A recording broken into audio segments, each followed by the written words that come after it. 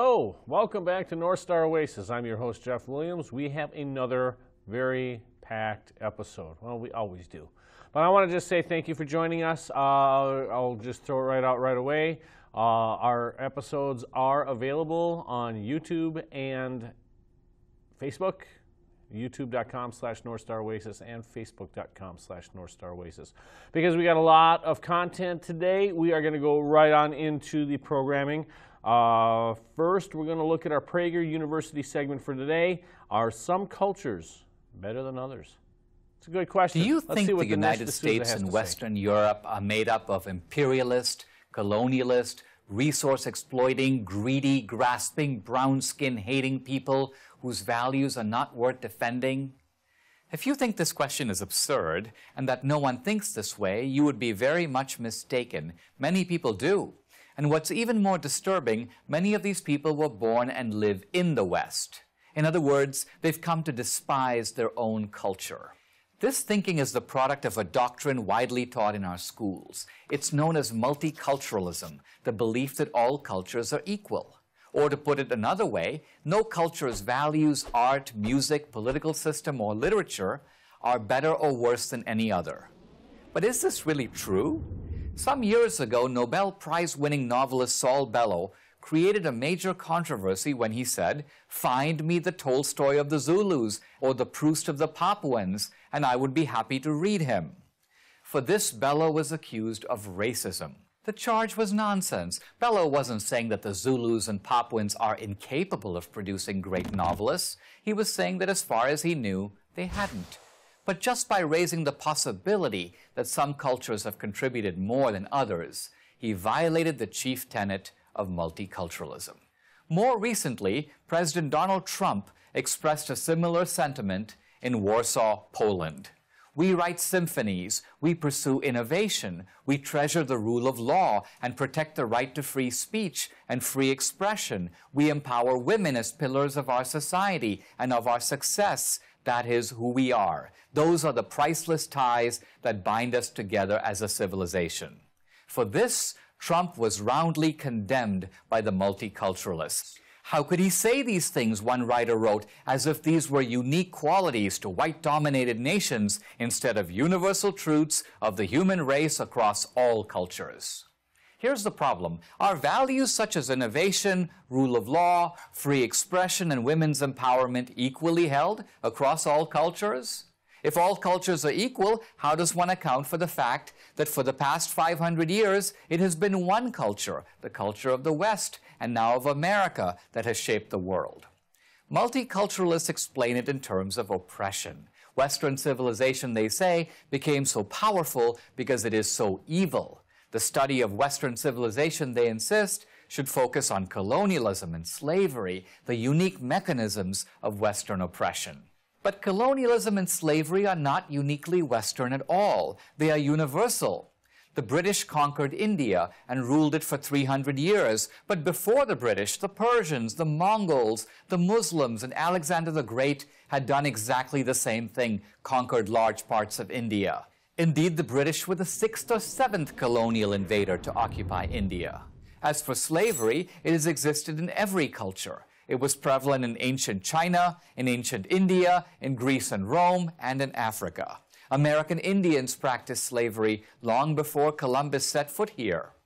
What is uniquely Western, in fact, is not slavery, but the abolition of slavery. And what distinguishes the West from all other cultures are the institutions of democracy, capitalism, and science. These institutions developed because of a peculiar dynamism of Athens and Jerusalem, a synthesis of classical reason and Judeo Christian morality.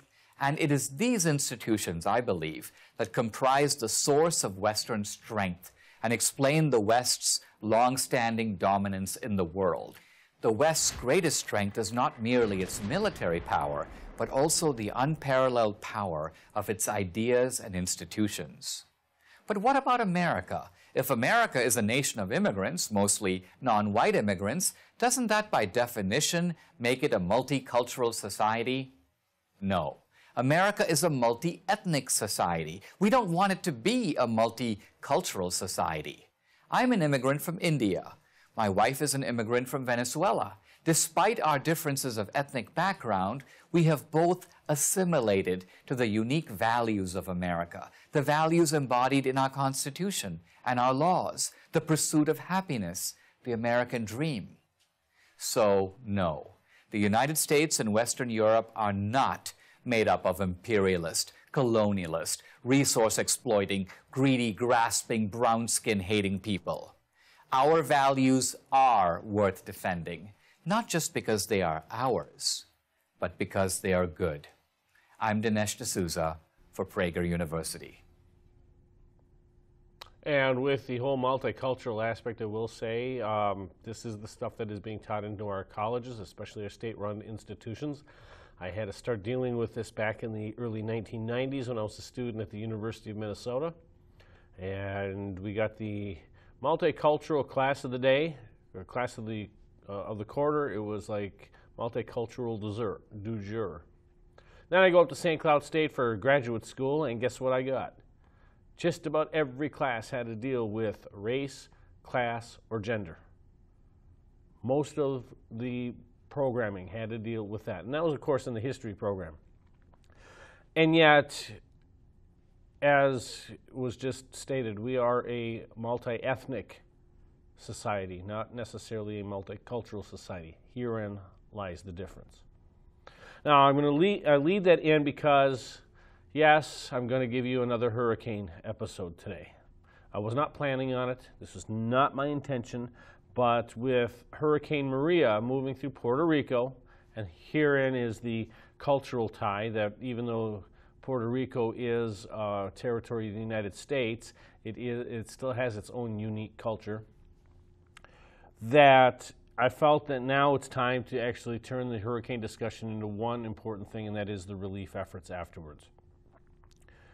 We started off uh, two weeks ago discussing what is a hurricane, hurricane behavior, hurricane, uh, how, how, they, how scientists, the National Hurricane Center, get the data, how they acquire the data, and a little bit of predicting. Last week, we went more into covering how hurricanes are tracked and what the differences are in the European and the American GFS model. Now we're going to take a look uh, at the aftermath of a hurricane and the cleanup. Uh, but that we'll be discussing that a little bit later. But right now, let's just get you up to speed into the current events. We're going to start off with extreme Maria Puerto Rico footage.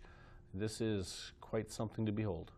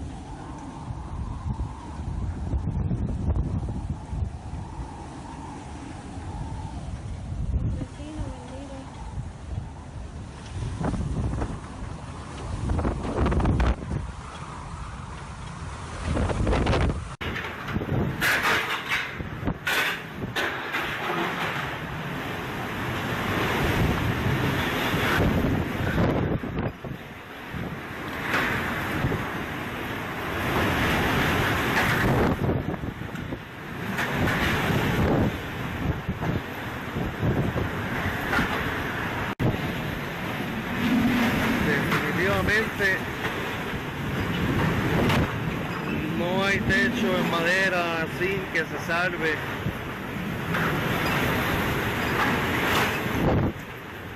Con la velocidad de los vientos.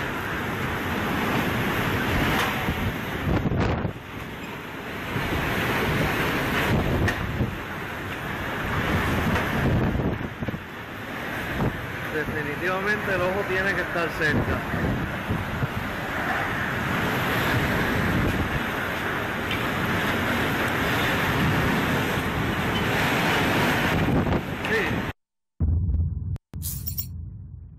That's what we saw in Puerto Rico. Uh, I believe that was yesterday on uh, September 20th. Uh, that one was the worst hurricane to ever hit Puerto Rico that I've heard of. Uh, it's probably not the worst, but maybe the worst in like the last 35 years or in recorded history.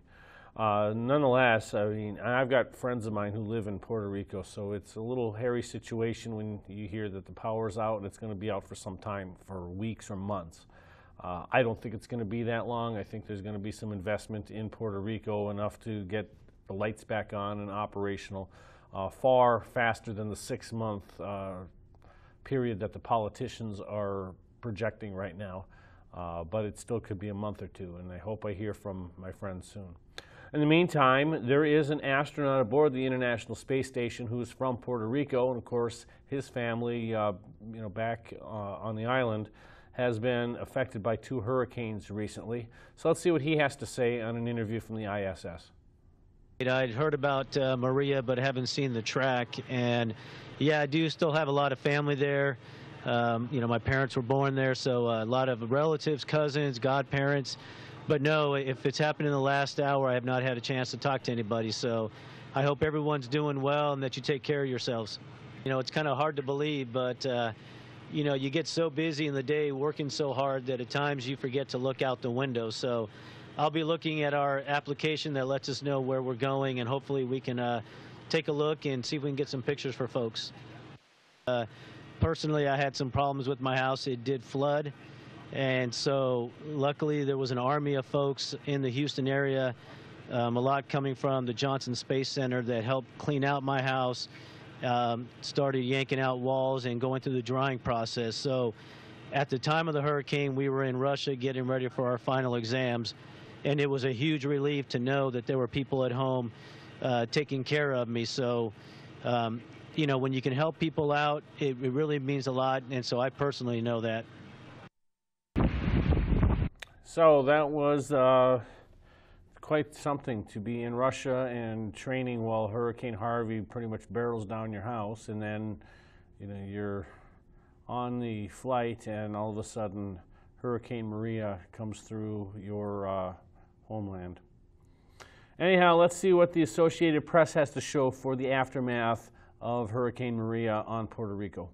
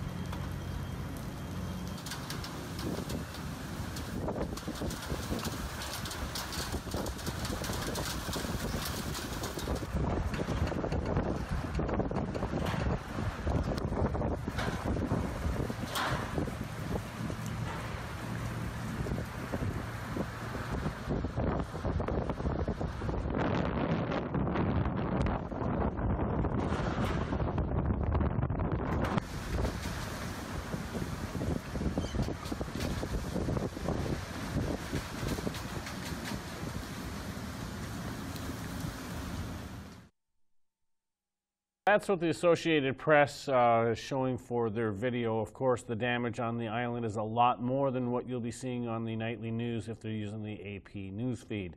Uh, that looked to be pretty mild. I've actually seen as much destruction as that in some areas of Minneapolis after a uh, uh thunderstorm, and it doesn't look bad, but actually it's a lot worse than what that little bit shows. Anyhow, we're going to go back a, almost a week in time. We're going to go to Saturday, September 16th. And leading into Hurricane Maria, this is what Joe Bastardi from Weather Bell has to say on his Saturday summary. And I think this one also may show a little bit about what we can expect with the upcoming uh, um, La Nina cycle. And if you think it's a really nice, gorgeous day, it's in the 80s, almost 90, it looks like summer out here today, it's not going to stay this way. And Joe Bastardi tells you why. Weather Bell Analytics meteorologist Joe Bastardi with your Saturday summary this morning. Um, analoging the track of uh, Edouard, 1996. You see what I do here? I, I look at things and I say, boy, this looks like something I've seen before. Now, we had model runs that looked like Esther for a while, which is 1961. Model runs that looked like Doria, where it came back, and, or, or Hermine. But now uh, we, we're settling on this. But for the last week, folks, we have had the same forecast for next Wednesday night that this would be located. This is this goes back to last Saturday, near 40 north and 70 west for this for this track. Now, this is our this is the uh, uh, the track that we have uh, have now. This is the western edge of the window right here. See that right there? So the western edge of the window uh, possibilities keeps it offshore. The track is up the middle right here. And what I do is I increase this to a category 3 storm uh, by Tuesday and then it's a 1 on Wednesday, and there's that four, see that see that spot there, 40 north and 70 west. Look what uh, the map looked like a week ago for the same. You see, say going up here Monday and Wednesday, I was overdone on the intensity because it's weakened. Then back here uh, for Friday, that was supposed to be last night, so it's over here. A little bit too far west here Sunday, then Tuesday, and so it's it's now located here Tuesday and then for Thursday, I had it over the benchmark again. So when we look back at, and it performed the loop and everything else, what I like to do is show our actual forecasts, not just computer models. And so um, the difference is that after coming out of this loop, this will be taking a, a path like this. But this forecast was made over a week ago and winding up at the same place.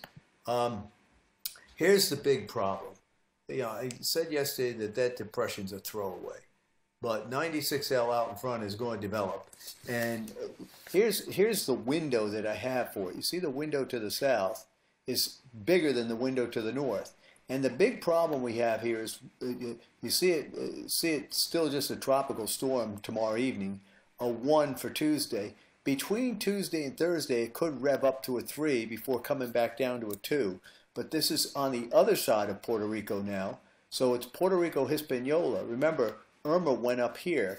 And that's a problem because this water is very, very warm in here. And Irma left the water cooler up here.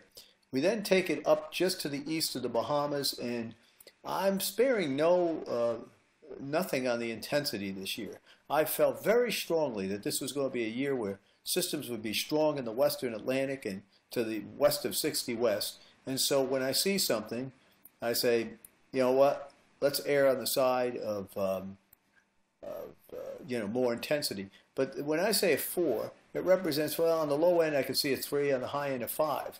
It doesn't monkey around too much with Hispaniola. Now, uh, you see me way open to the west here toward Florida. Because once this gets in here, it's just because it's here Monday doesn't mean it's ashore. This could start monkeying around again or if it's here Monday. I don't, you know, so it is a big window, but we're, we're talking here nine days away. So, like Irma, we gave you a big, big heads up, and we jumped all over that system, even when it was just before it was named. Um, and we did that with Harvey too. So we're doing it with this. You know, we can look at the pattern and tell that this is likely to become another major impact player for the United States. Uh, again, this is a this is a throwaway uh, to me. If they name it, it's a waste of a name because it's going to weaken. And all the action, it's almost like Jose, Irma, Harvey, and this next thing are sucking all the wind out of the room uh, because it's so big. Uh, here's the sea surface temperatures along the eastern seaboard. And I point this out for two reasons. There's plenty of reason for this to intensify with the dynamics. The, we've got good outflow in there and the very warm water. But there is a wall of cold water waiting here that's going to chop the feed out from underneath this. These water temperatures go from being in the low to mid 80s to the low 70s here. And so a slow moving storm trying to come uh, come at New England, even if it was fairly far west, is not going to be able to make it in as a hurricane. Now that doesn't mean that we can't have hurricane conditions spread out way away from the storm center while the storm center weakens if it gets close enough. And there's still a chance that this just just try to come up over Martha's Vineyard. But I look at this as a nor'easter and a big wave maker, and you know you'll have some tidal flooding and beach erosion, but overall it's a miss for the United States. Now, uh, you look at that sea surface temperature pattern, and you notice that configuration, and you remember what we said that this is a, this is what we said back in May that we would get this kind of configuration, and this is the analog of the high impact seasons that we've had on the United States coast. And so, before the season, before the season, we were actually predicting what the sea surface temperatures were going to look like, and the result was what you're seeing during the season. So when I hear it's for other reasons, uh, after setting the whole season up like this, I simply go back to what we said here at Weather Bell that this is something that you could look at from the past, and if you did the did the dirty work and set it up, if you're say uh, looking at the overall pattern, I think we're going to see this kind of sea surface temperature configuration. You would know you would have the high impact season, and that's why we forecasted that. Now, here is the area of red where I said over 50% of the ACE was going to occur, and you can see how I had it spread out. And so we had Harvey go in here, we had Cindy go in here, we had Emily here, we had Irma in here, we had Gert out here, and you're going to see Edouard come out in here, all right? And then you're going to have something try to come up in between the middle. Uh, Katia went down, Franklin was down here, we had three ham sandwiches down here, um, Harvey and Don, and uh, well, Harvey was just a ham sandwich here. Remember what happened with Harvey? Uh, it came all the way across and then intensified at the end over here. But my point is that with here, this this is not just an ACE forecast. We were underdone on the ACE, but what we gave people before the season with this, I, I mean, I, I don't know, I don't know uh, how I could do any better. You know, with Irma on here, and you saw Gert missed, okay, and Edouard is going to affect people and go out, and it's almost as if what's left is to come right up the middle to just prove our point. And you know, there there are issues I'm involved in that uh, people don't like, and the only way to prove I'm right is by being right. And with our hurricane forecast, that we have been researching impact more so than totality of season as far as the number of storms and all that. I, I, you know, I really, I don't really care about eyesores near the Azores. I mean, I know it, uh, you know, people love to look at it and everything else. I care about what's going to impact the areas of the United States and the islands because we got clients in here. And you can see this, this warning shot across the bow was issued before the season based on sound meteorological principles and not based on any of the mumbo jumbo I hear today. After a storm occurs, people come out and tell me it's a different reason. But why would I, why would I not defend what I worked on and put out before the fact? So, you know, that's, that's all this is. So, I mean, you can say what you want to say, but you, you have all these tracks in here, Gert out here. Most of the action, in fact, 75% of the ACE this year is right in that area, and this only covers this covers less than uh, this covers about 25% of the total area of the ocean where the ACE can be scored. So that's a pretty significant forecast right there. Now let's jump to winter. The winter's coming up, and we've got our winter forecast out. I want to show it to you. Uh, this was a forecast uh, from six months ago for sea surface temperature profiles. In the defense of CFSV2, it was ahead of the game as far as hinting at a La Nina, and this is what its forecast looks like now. So you can see that uh, quite a bit of difference there uh, with the uh, La Nina look uh, for the upcoming three months. And here's what it looks like for the winter. So there's not much question that uh, a La Nina is on the way. We've got the European, and this is off its public site, saying a La Nina is on the way, and uh, it's a pretty significant looking La Nina overall. Here's the uh, forecast for the uh, anomalies at uh, ENSO 3.4, and uh, here's the uh, here's the European now, and vastly different from what it was a couple months ago with this. So the CFSV2, in my book, scored the coup. So here's what our temperatures look like for the upcoming winter, and you can see we're a bit above normal here and below normal here. And what I'm trying to guard against is the extremities and the volatility of the pattern uh, the back and forth that can take place in this. And I think you're going to see some outstanding cold shots this year, but also warm ups between them, more so than what you may uh, normally associate with winter. So uh, I don't want people to think that this is oh la di da. For instance, the month of September, the way it's going, when it's all said and done, it may be pretty close to normal across the United States, but the way they got there was pretty wild. And this kind of pattern with a lot of back and forth produces a lot of precipitation in here there's a lot of precipitation. There will be events where there's plenty of snow and ice, and you can see us with above normal in this area, and again in the Pacific Northwest. This is sort of a throwaway here. I mean, if it doesn't snow in the Southwest, who cares to say it's below normal snowfall? I'm not sure how the Southeast is going to work out because it may be one or two renegade systems in spite of a warm winter down there. Um, here's the month so far, and with it getting darn cold in the west and warm in the east, like I said, you might have a September, then you're like, yeah, that September was near normal. It's anything but normal. You know, uh, uh, no, let's put it this way: normals are a product of the swings, and there's some big swings this year. Here's the CFSV2, the upcoming five days. You can see how very cold it is in the west, warm in the east, and uh, continues that way in the six to ten. So, uh, and of course, with it being warm here, amplitude, whether cold or warm, breeds trouble underneath, and the tropics will be trouble, as we've alluded to. Right now, uh, taking a look at the bigger picture, the Earth is at its second warmest in the last 35 years for the month of September as CFSR. So it's very warm September still. Okay, uh, you know there was a lot of speculation that we were going to have record low sea ice this year. That didn't happen, obviously. Then again, with the mean being up here, this is nothing to brag about, but it's still not uh, still not where we hear the hysteria uh, in the early part of the season about that. And here's the North Pole temperatures. You can see they stayed below normal much of the time this summer, as they've been prone to do.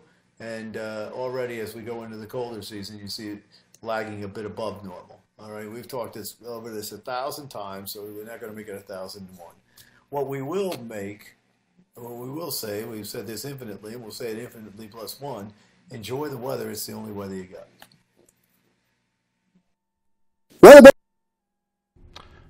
So that was Joe Bastardi from Weatherbell, and I hope there's there's really two things I hope you got out of that, uh, unrelated to hurricanes. One, pay attention to the 133% above normal for snowfall because of La Nina. That is traditionally what happens is we get an above average snowfall. And El Nino gives us mild, mild winters. La Nina gives us more severe snowfall in winter. Uh, so that's what the pattern we're going into. The other one is that was done five days ago. And what did his five day GFS V2 outlook have to say? That we are going to be in a, in Minnesota is going to be in a warming trend. It's going to really warm up here. And guess what? In the last couple of days, it's been up in the 80s, feeling like it should be July, uh, but looking like it should be October. So th- this is normal but not normal, but Bastardi explains it. And I'm really thankful that we've got a guy like Joe Bastardi around to teach us uh, some of this material. So now we're going to see what he actually had to say today, five days after he made that forecast. Let's see what he has to say for today's daily update. Weather Analytics meteorologist Joe Bastardi. Well, today's the anniversary of the 1938 hurricane in New England. Could be the uh, freakiest event that's ever occurred in the United States out of the tropics. We can argue over that, but to see 186 mile an hour wind gusts with uh, sustained wind of 121 miles an hour for five minutes, even if it is at 600 feet at Blue Hill, Massachusetts, is just almost incomprehensible to me. If I hadn't seen this, I wouldn't believe it could even happen. Here's some pictures, and this is out of, uh, you know, Google 1938 hurricane. And so when you look at the events that are happening now, and you understand what happened before, you understand that the weather, the averages of the weather, are a product of the weather going to extremes, and at times it's normal for the weather to go to extremes. For instance, uh, when you look at what's going on in the Pacific right now, it's very, very quiet. When the Pacific was acting up, the Atlantic was down, the Pacific shut down, the Atlantic picked up. Uh, here's a picture of Providence, Rhode Island, under 13 feet of water. Although that car, this is this is uh, further further back away from the downtown area here. You can see that car is submerged over there. Uh, just you know, more pictures of utter devastation uh, on the New England coast on this day in 1938. Uh, this is Jose, and of, course, Jose is a good example of weather because it weakened. The 38 hurricane came along today. That would be climate change. But there's Jose weakening off New England. And um, here's the tracks of Jose. Uh, many of them are back to the west. This is going to be crucial. If Jose just stays out here and gradually weakens, then Maria is going to head toward it. If this comes back to the west and you see Maria coming here and try to come in close, and that's what our uh, forecasted track is going to say with that. This is Maria. Notice how big the eye is. It is not, it filled exactly what I said, 50, 40 to 50 millibars yesterday.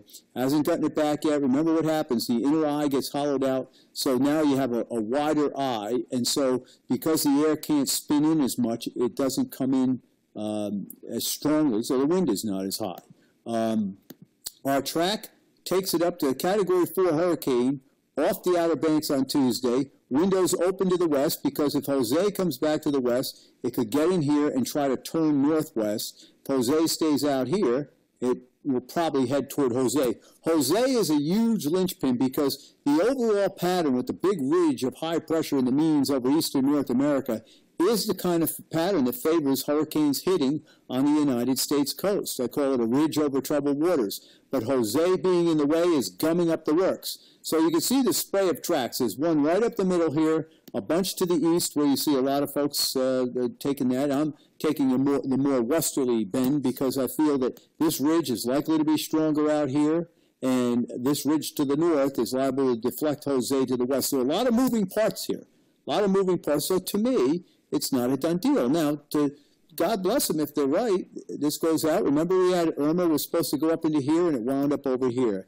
And we had Jose last week was supposed to wind up over here, and it wound up here. So uh, you know, if they're right, they're right. Uh, so, but right now uh, we are where we are. Uh, I like the idea that it's going to try to use this warm plume of water to move along here. And uh, you can see Jose ran into this cooler plume, although it has warmed up relative to normal over the past uh, several days. Uh, these are the U.S. tracks. The consensus, as you can see, off to the east. So the U.S. models are heavily eastward biased, and no, they may be right. I just have my opinion on it. Um, and uh, here's a spray of the European ensembles where all it's got all the different lows. So it calculates a mean, but you can see a bunch still off to the west, as many as to the west as they are to the east. And finally, we have this feature that's here, and I don't anticipate that developing uh, for for quite a while. However, if we go back to the uh, picture of Maria I showed you, where is that? There we are. Uh, you see that? See that circle? I'm expecting a development in week two, right over here. And I'll tell you what, uh, I, I, tell you the Japanese model uh, looks like it's definitely seeing that. Let me see if I can eliminate this and put this put this on for you over here. I got to do a lot of magic over here to get this. Uh, let's see. There's a track of Maria and uh, Okay, let me get that off. Look at the Japanese model, week two, seeing all that precipitation and then making a point this way. So once once we get by here with uh, Maria, we're going to have to look in the Western Caribbean to see where the next one's coming from. Big flip in the pattern coming. It's gotten very cold here, very warm here. Down the road, week two, we're going to see the cool come back out over the top here, the warmth in here, and we'll have to look south to see if we're going to get any development. I'll tell you what, these daily summaries have been running real long for the last month, and there's a good reason. It's been a lot of weather going on. Enjoy the weather. It's the only weather you got.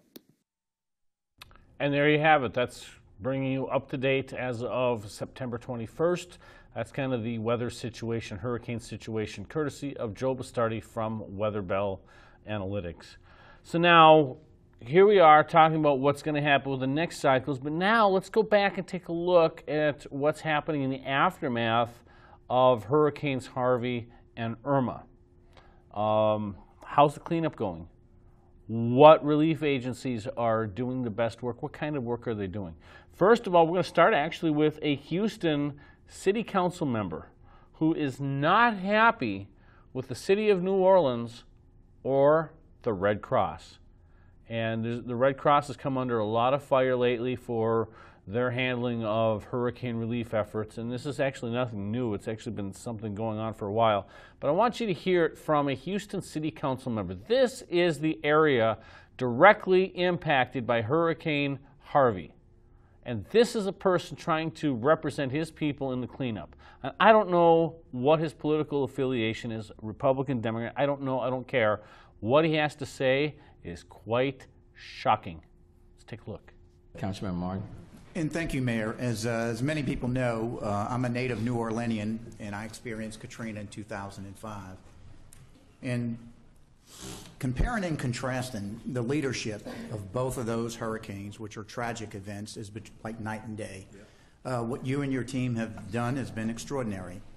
And I do believe that, Mayor, and I've told you this before, and I've said it publicly, that I'm sure it was tough when you lost those previous mayoral races, but I know that the good Lord had a plan for you that we didn't understand back then that we understand today.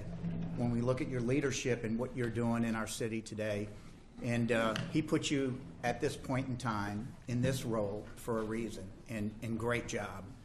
We just all need to experience a little bit of patience because it's going to be a long, long, long process. In Kingwood, probably half of the neighborhood took on water, and we can't get to the people's houses as quickly as we'd all like to. The problem we have is we have the, the San Antonio guys that are busting their tails right now in our area. But when you fill up a truck and you go to the landfill, it takes you two hours from the time you fill up the truck till the time the truck returns to the neighborhood, and it kills us. There are cars parked in streets where the trucks can't get through, and that kills us. So patience is a virtue, and we need to make sure that we all address that. You know, speaking of New Orleans, um, I got a little ticked off yesterday, so I called the mayor of New Orleans' office. Couldn't get through to him. Left my message, and he never called me back. no one was better to the city of New Orleans than the city of Houston. And to everyone in his, that lives in this city from New Orleans, I ask you, where in the hell is New Orleans? Where are they with their trucks? Where are they with any equipment that we sent over to them in 2005 and we busted our tail for them? Where are they?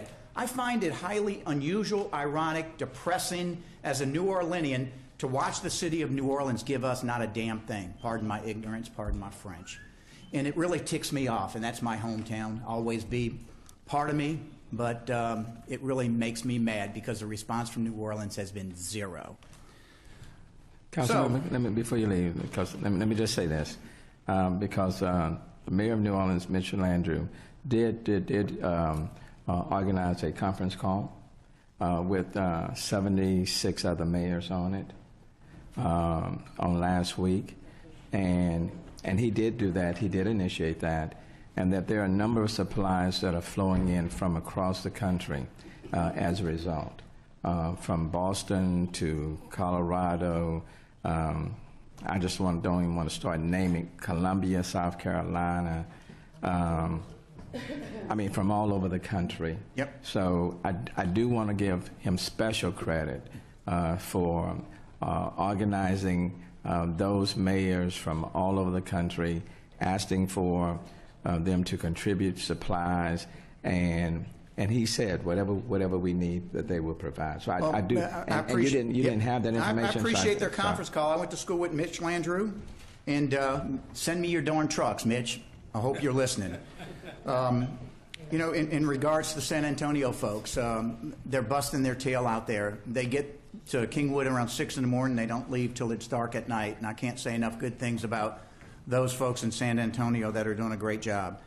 Now, my last rant will be on the Red Lost. I'm sorry, the Red Cross. Because the Red Cross, if anybody wants to donate to the Red Cross, please call me. I beg you not to send them a penny. They are the most inept, unorganized organization that I've ever experienced. I, I've been in Kingwood fighting this thing, and we have not seen one person, not a single person from the Red Lost. Yet, every time I turn on the TV, they're receiving multi, multi hundreds of millions of dollars. What are you guys doing with it? How many contractors you're helping us with? So, to this day, many days after the hurricane hit, I have not seen a single person in Kingwood or in Clear Lake that's a representative of the Red Cross. You know who opened our shelters? We did. You know who sent water and supplies? We did. People didn't have cots. We got them blankets. We didn't get a darn thing from the Red Cross. so, if anybody wants to send them money, don't waste your time, don't waste your money. Send it to other causes. Thank you, Mayor. Thanks, thanks, Councilman Martin. Uh, Councilmember Kubosh? I wanted to make sure that you heard from somebody in a position of authority in Houston that this isn't some conspiracy theory or some anti Red Cross. I wanted to make sure that if you're thinking about donating to Red Cross, think again, but hear it from somebody in Houston. My words are irrelevant because I'm not dealing with a hurricane or natural disaster. But the people who are affected, who need the help, who need the organization, are not necessarily getting it from the Red Cross. And I've actually heard this for many, many, many years. This is not the first time the uh, relief to Haiti for their earthquake a couple of years ago. They had received half of a um, half was it half of 500 million, I think, and yet 25% of that was spent on salaries and administrative fees, and a lot of the other money just went to other agencies. But there's no accountability in where the money actually got to where you know, to help the most people. It was supposed to be promised for building a lot of housing units, and only six units were built. You can't tell me in Haiti that half of a billion dollars can build more, cannot build more than six homes. Something's not right there. And personally, I think it just happens to be that the Red Cross is too large and it's gotten away from the original mission of uh, Clara Barton. It's got a lot of bloated bureaucracy to it. But I wanted to show you two organizations that are doing a great job that if you do want to help in hurricane relief, these are organizations you might want to consider supporting. Uh, again, I'm not telling you to do this. If you want to make a contribution to the Red Cross, I'm not going to tell you not to, other than I think that these might be better organizations in the long term. So first of all, we're going to take a look at Samaritan's Purse and what they're doing in Texas uh, after Hurricane Harvey.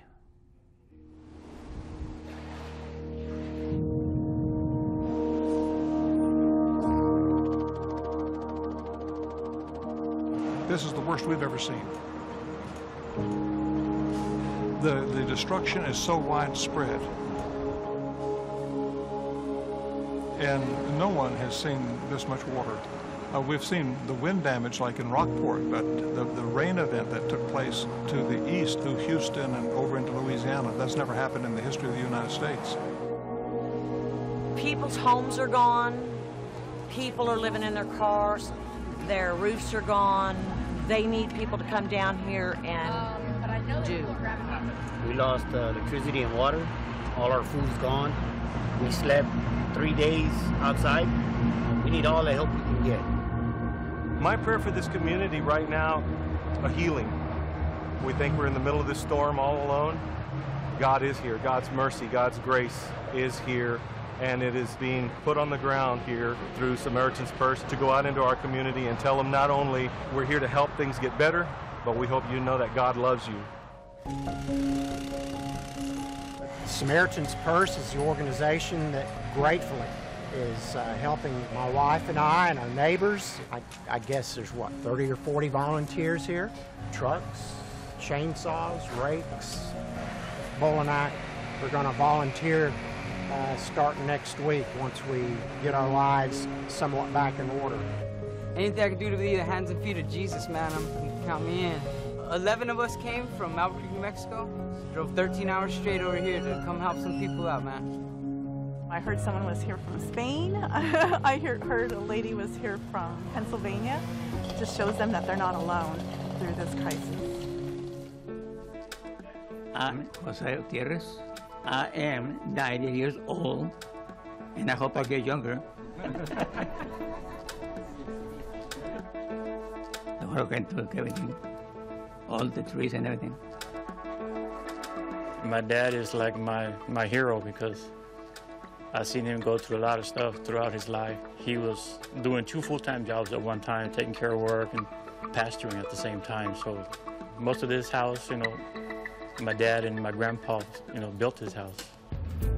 All this was contaminated with uh, mold and no moisture. The tree that was on this side fell on that, and it punctured a hole on that on that roof over there. We were getting out our tools, getting ready to start doing what we could, and then the Samaritan Purse people started coming in. They said a prayer before we did anything. Father, I ask that you would, in many, many ways, show your love That really touched touched my heart because that's that's what it's all about.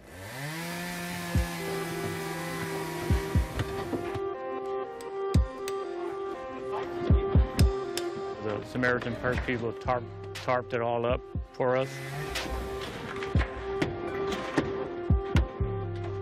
They removed all the all the tree rock.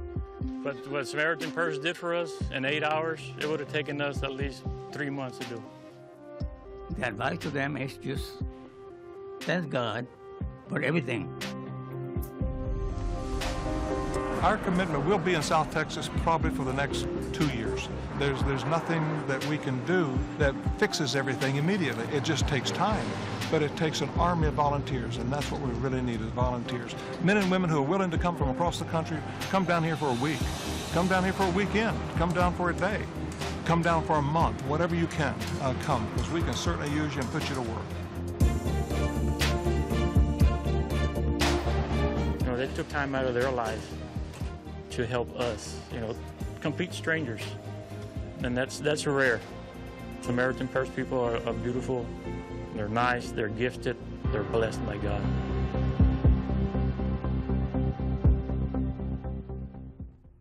So that's the work that Samaritan's Purse is doing in Texas to help in Hurricane Harvey relief efforts. And I already, I mean, it's been less than a month, and they're already just doing a bang up job down there. But there's another organization I want to highlight today, and that is Habitat for Humanity. Let's see what they're doing in Victoria, Texas after Hurricane Harvey.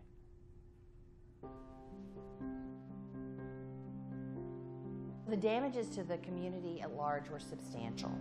We had no electrical infrastructure, we lost potable water. The Rio Grande Valley affiliate reached out to us almost immediately and said, Look, we understand that you guys need water. You don't have any potable water. I can get water to you. We're about three hours south of here, and when the storm missed us, we knew we had to respond. We mobilized our volunteers, we united the community, and then as soon as the storm passed, we mobilized and we responded. As of this moment, we have transported 166 pallets of relief material to the communities of Victoria, Corpus, and Beaumont, Texas. When we talk about Habitat for Humanity, we recognize that we're more than just an organization, we're a community and we're a family.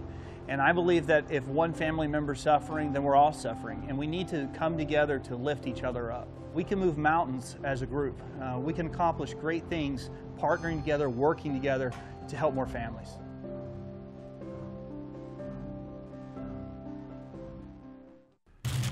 Habitat for Humanity also went to Florida in the aftermath of Hurricane Irma. Let's check it out. Where would you like it? We've got four different nonprofits or organizations that are joining together today for one cause, and that's to help people that have been impacted by Hurricane Irma. We had an emergency operations center meeting yesterday with all the long-term recovery groups. And one of the things that they said that we had that nobody else had was we had the capacity to be able to host distribution channels for semis to come in. We have a forklift, we have other materials, and we have staff and volunteers. The unmet needs are really immediate needs for water, for housing, for food, people talking about division, division, division. Uh, this is unity. This is what it looks like. This is the way it works. It's a community helping each other so that uh, they're all helped together. We are uniquely positioned because we know the community, the community knows us, and, and we can do more together. And when we join forces with other nonprofits, we can leverage all of the resources that we have, and then we can say, what's the best of everything that we can provide? What I hope happens from this is that it stirs people to action, not just in the midst of a hurricane, but it stirs people to action in the midst of their everyday life. And let's see what Samaritan's Purse did in Florida after Hurricane Irma.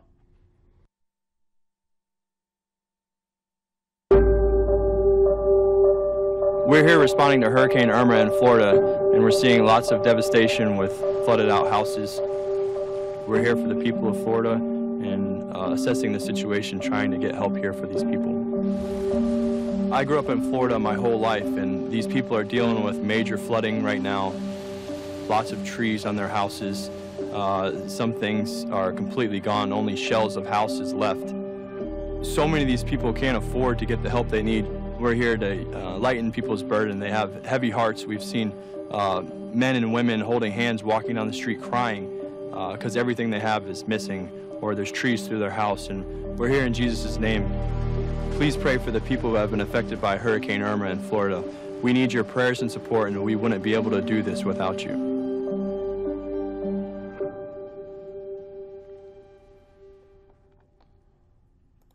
So both organizations that I highlighted are doing a fabulous job.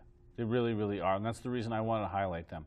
There are, I mean, we hear so much about the Red Cross, and again, they have a, they serve a purpose. But we hear so much about the Red Cross that unfortunately, other organizations that are probably doing better work down there, they don't get quite the exposure that the Red Cross does. How many athletes do you see out there making a TV appeal to say, help us with Samaritan's Purse? Where are the movie stars coming out and saying, Habitat for Humanity needs your help to help people in a hurricane affected area? Where is the Hollywood elite donating you know, tens of thousands or, or millions of dollars to Habitat for Humanity or Samaritan's Purse? They're not there, but they'll do that for the Red Cross because the Red Cross has the much better organized PR machine. But people in the hurricane affected areas are hurting and they need help, they need assistance. I'm glad to know that there are other organizations that are out there helping them. Uh, again, with blood, uh, uh, with the blood donations, blood banks, Red Cross does a phenomenal job. But in disaster relief, they may have been the top dogs 20 or 30 years ago when there were, you know, there was, the need wasn't quite as great because the infrastructure in these areas wasn't like it is now. But now there's actually competition for resources. There's other organizations doing the same type of work. They're doing it better. And those are the types of organizations that I like to support. I would like to see more people getting helped with every dollar that's spent. Instead of 25 cents on the dollar going to administrative fees, why can't it be 15 cents or 10 cents, especially when you're dealing with the money that the American Red Cross is? I don't have the time right now, in the interest of this show, of going up to Charity Navigator and actually comparing these organizations on their efficiencies. But I will tell you that um, that those the two that I highlighted, Samaritan's Purse and uh, Habitat for Humanity, they have a lot less administrative expense than the American Red Cross. Now, we are going to actually leave here with our uh, musical number for today, which, of course, is going to be a rain theme. So, um, you know, I'm going to, I'm just giving a heads up to my producer to make sure he can set that up. We do have about another um, minute or so that I can discuss. So, what I'm, what I'm saying here is that there are other options besides one big organization. There's uh, actually an organization called the National Voluntary Organizations Active in Disaster, the nvoad.org. Um, there, there's on, on, their stuff uh, on their webpage. There's um, a Hurricane Harvey, Irma, and Maria uh, page. Uh, they do have the Red Cross listed here, but they also have other organizations that can help in these needs. Anyhow, we're going to go to uh, Keith Whitley, the late Keith Whitley. I remember when he was still alive, I was still growing up, and he had a great song called I'm No Stranger to the Rain. And considering that we have organizations like this that are uh, working so hard and disaster after disaster, they're not strangers to the rain either. I'm no stranger to the rain. I'm a friend of thunder. Friend, is it any wonder lightning strikes me?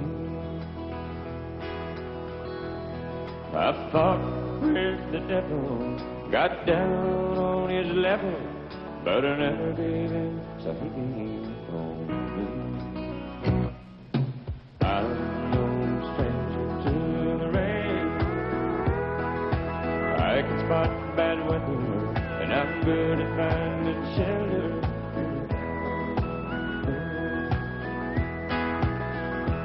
I've been sacrificed by brothers, crucified by lovers, but through it all I withstood the pain. I'm no stranger to the rain, but when I get that foggy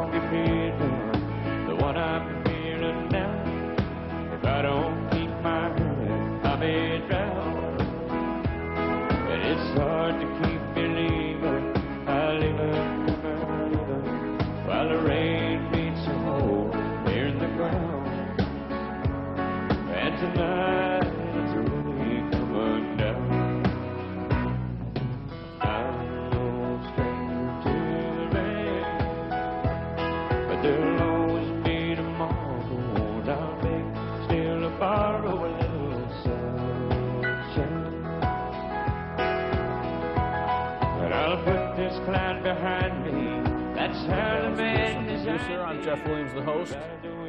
You're watching North Star Oasis. Thanks for watching. Reminding you, we have 94 shopping days left until Christmas, and we will see you next week.